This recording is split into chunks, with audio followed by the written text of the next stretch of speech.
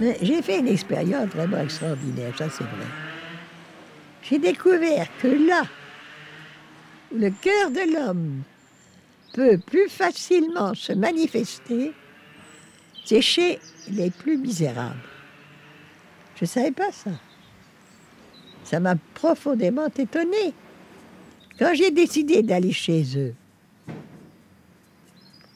on m'avait prédit d'abord qu'ils allaient me tuer. C'est bien simple, c'est déjà fini avant de commencer.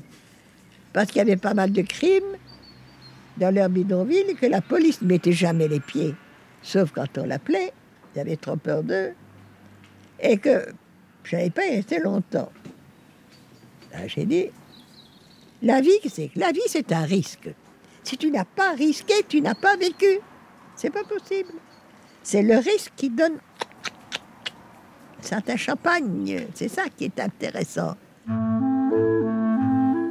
Dans ma vie, j'ai toujours choisi le risque. Et c'était passionnant. Parce que le risque vous lance. Et vous permet et vous demande le combat.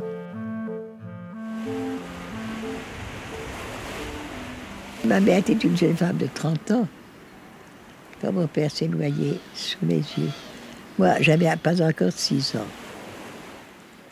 Ça m'a fait un choc et je pleurais tout le temps après. Mais j'ai vécu dans une famille sereine.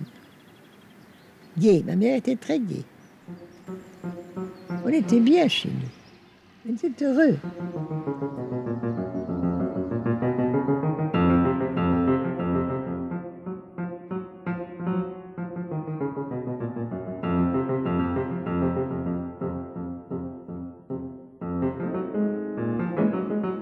Quand j'étais jeune, ça, alors là, hein, je ne pensais qu'à m'amuser, qu'à danser, qu'à aller au cinéma, au théâtre, etc.